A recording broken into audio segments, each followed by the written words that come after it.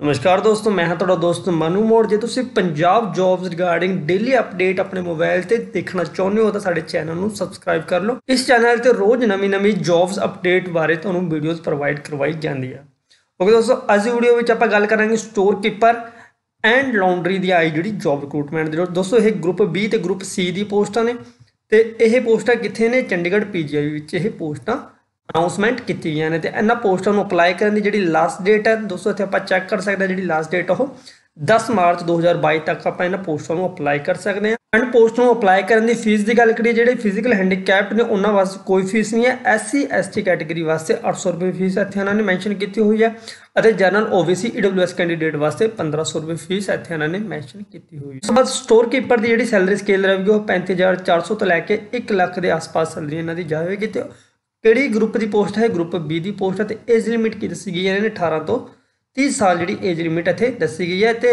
ਇਸ ਤੋਂ ਇਲਾਵਾ SC OBC ਨੂੰ 3 ਤੇ 5 ਸਾਲਾਂ ਦੀ ਐਕਸਟਰਾ ਛੋਟ ਇੱਥੇ ਮਿਲ ਜਾਂਦੀ ਹੈ ਏਜ ਲਿਮਿਟ ਵਿੱਚ। ਐਂਡ ਕੌਣ-ਕੌਣ ਇਸ ਪੋਸਟ ਨੂੰ ਅਪਲਾਈ ਕਰ ਸਕਦਾ ਹੈ? ਬੈਚਲਰ ਡਿਗਰੀ ਇਨ ਮੈਥ ਵਿੱਚ ਕੀਤੀ ਹੋਵੇ ਜਾਂ ਇਕਨੋਮਿਕਸ ਵਿੱਚ ਕੀਤੀ ਹੋਵੇ ਜਾਂ ਕਮਰਸ ਵਿੱਚ ਜਾਂ ਸਟੈਟਿਕਸ ਵਿੱਚ? ਜਿਹੜੇ ਵੀ ਗ੍ਰੈਜੂਏਟ ਕੈਂਡੀਡੇਟ ਨੇ ਜਿਨ੍ਹਾਂ ਨੇ ਮੈਥ ਇਕਨੋਮਿਕਸ ਕਮਰਸ ਵਿੱਚ ਨਾ ਕੋਈ ਵੀ ਸਟਰੀਮ ਵਿੱਚ ਗ੍ਰੈਜੂਏਸ਼ਨ ਕੀਤੀ ਹੈ, ਤਾਂ ਸਟੋਰ ਕੀਪਰ ਦੀ ਪੋਸਟ ਵਾਸਤੇ ਅਪਲਾਈ ਕਰ ਸਕਦੇ ਨੇ। ਇਸ ਤੋਂ ਇਲਾਵਾ ਐਮਬੀਏ ਜਾਂ ਪੋਸਟ ਗ੍ਰੈਜੂਏਟ ਨੇ, ਤਾਂ ਵੀ ਉਹ 50% ਨਾਲ ਪਾਸ ਨੇ, ਤਾਂ ਵੀ ਇਸ ਸਟੋਰ ਕੀਪਰ ਦੀ ਪੋਸਟ ਵਾਸਤੇ ਐਲੀਜੀਬਲ ਨੇ। ਇਸ ਤੋਂ ਬਾਅਦ ਜਿਹੜੀ ਲੌਂਡਰੀ ਦੀ ਪੋਸਟ ਹੈ, ਇੱਥੇ ਸੈਲਰੀ ਇੱਥੇ ਇਹਨਾਂ ਨੇ ਮੈਂਸ਼ਨ ਕੀਤੀ ਹੋਈ ਹੈ 25000 ਤੋਂ ਲੈ ਕੇ 81000 ਸੈਲਰੀ ਇੱਥੇ ਇਹਨਾਂ ਨੇ ਮੈਂਸ਼ਨ ਕੀਤੀ ਹੋਈ ਹੈ। ਗਰੁੱਪ ਸੀ ਦੀ ਪੋਸਟ ਹੈ ਤੇ 18 ਤੋਂ 30 ਸਾਲ ਦਾ ਕੈਂਡੀਡੇਟ ਇਸ ਪੋਸਟ ਨੂੰ ਅਪਲਾਈ ਕਰ ਸਕਦਾ ਹੈ। ਇਸ ਵਿੱਚ ਕੀ ਐਲੀਜੀਬਿਲਟੀ ਦੱਸੀ ਹੋਈ ਹੈ? 10ਵੀਂ ਪਾਸ ਹੋਣੀ ਚਾਹੀਦੀ ਹੈ ਐਂਡ ਡਿਪਲੋਮਾ ਦਾ ਸਰਟੀਫਿਕੇਟ ਹੋਣਾ ਚਾਹੀਦਾ ਮੈਕੈਨੀਕਲ ਇੰਜੀਨੀਅਰਿੰਗ ਵਿੱਚ।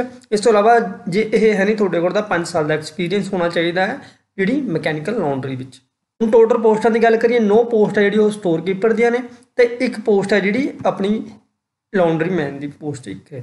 ਓਕੇ ਦੋਸਤੋ, ਇਹ ਤਾਂ ਸੀ ਮੇਨ ਮੇਨ ਜਾਣਕਾਰੀ ਜਿਹੜੀ ਮੈਂ ਤੁਹਾਨੂੰ ਇਸ ਵੀਡੀਓ ਥਰੂ ਦੇ ਦਿੱਤੀ ਹੈ। ਜੇ ਤੁਸੀਂ ਇਸ ਨੋਟੀਫਿਕੇਸ਼ਨ ਨੂੰ ਮੇਰੇ ਤੋਂ ਲੈਣਾ ਚਾਹੁੰਦੇ ਹੋ, ਤਾਂ ਇਹ ਮੇਰਾ ਇੰਸਟਾਗ੍ਰam ਆਈਡੀ ਨੰਬਰ ਹੈ।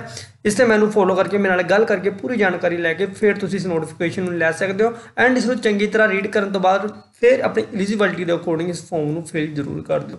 ਐਂਡ ਜਿਸ ਰਿਗਾਰਡਿੰਗ ਕੋਈ ਹੋਰ ਇਨਫੋਰਮੇਸ਼ਨ ਲੈਣਾ ਚਾਹੁੰਦੇ ਹੋ, ਤਾਂ ਵੀਡੀਓ ਵਿੱਚ ਕਮੈਂਟ ਕਰ ਦਿਓ। ਮੈਂ ਨਾਲ ਦੀ ਨਾਲ ਤੁਹਾਨੂੰ ਰਿਪਲਾਈ ਜ਼ਰੂਰ ਕਰ ਦਿਆਂਗਾ।